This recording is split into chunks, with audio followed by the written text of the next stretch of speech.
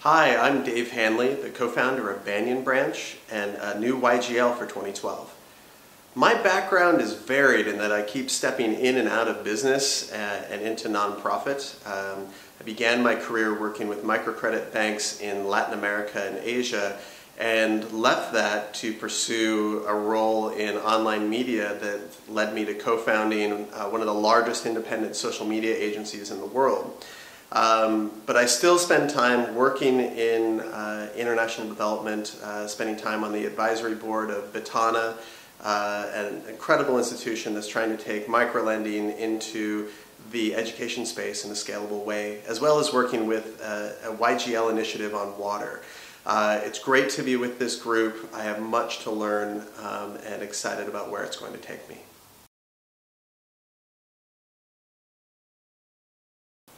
The next generation of leaders needs to be more innovative than the generation that came before it, which is a very high standard for us to meet. But with the growth in population that we've seen and the incredible growth in consumption that has come along with it of our resources, of our environmental resources, and of our economic resources as we try to meet these demands, we need to be more innovative. And we need to, also as a, as a group of leaders,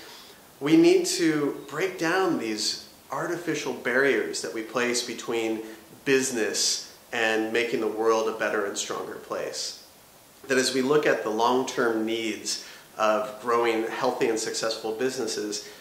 those needs are not divergent from the needs of making the world a better and stronger place. Uh, and so it is incumbent upon us to have that broader vision and to have those longer term goals and always look with a vision of applying our ingenuity not just to creating new products and services but also in applying it in terms of how we can make the world a better, more healthy, and stronger place for us all to live in together.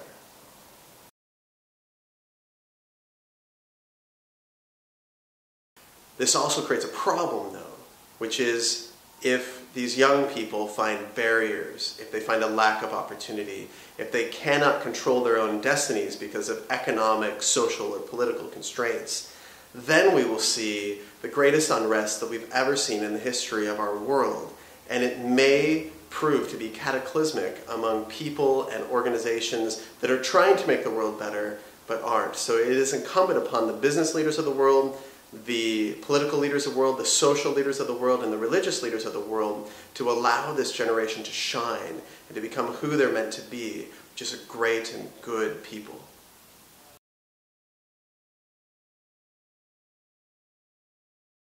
I think it's probably common among YGLs that they look at the list of people and all the great accomplishments and determine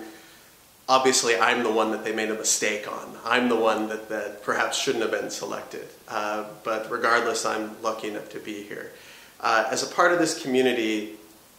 what I bring is my ability to connect people together. That through my background in social media and my desires to connect disparate groups of people together so that they can create together and uh, explore together will probably be the greatest thing that I can give that and my passion for um,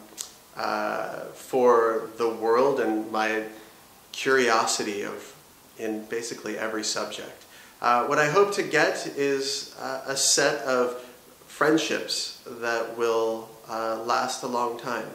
Uh, that as I meet people who have been great at what they've done, that perhaps over our careers we can work together to make the world a little better or make a little corner of the world a little, a little better or join in creating and building something together. Uh, I'm hoping that it's, uh, while it's hard for me at my age to look five years out, it seems like such a long time, but during this five-year tenure uh, to do some great things, but also to join with these people, uh, that knowing that for the rest of our lives we'll be knit together through this experience is, is something of great excitement of and interest to me.